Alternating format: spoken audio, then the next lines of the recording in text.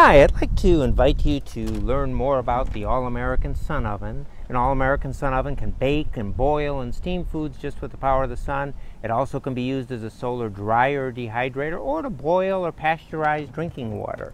The Sun Oven is designed so the whole thing just sets up in a matter of seconds. It's a simple one-piece construction. It has a leg built into the back that allows you to raise or lower it to be able to meet the sun wherever it is in the horizon. So in the early morning, late afternoon, or winter, you'd have it raised up. In the summer, most of the time, you have it pretty much sitting close to the ground. And setting up the oven, as I said, it was very simple. You just open this glass door, you put your food in the oven's chamber,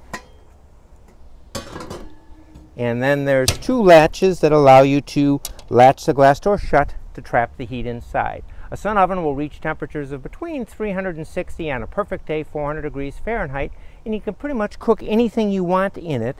The nice thing is, if you do realign it to follow the sun, your food isn't going to spill when you move it to follow the sun because it has this leveling tray.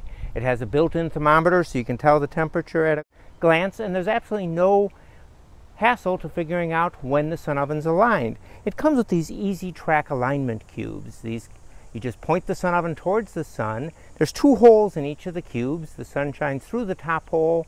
When you have it centered over the bottom hole, then you know the sun oven is adjusted to exactly where the sun needs, where it needs to be in the sunlight. The sun oven, you can take your food out of it. Obviously, I've only had this food in now for a matter of seconds, so there's nothing, these pots in for a matter of seconds, they're not really hot, but you always would need to use oven mitts uh, or hot pads if you were going to do it. But to fold it back up, to, to store it, you just fold it like this.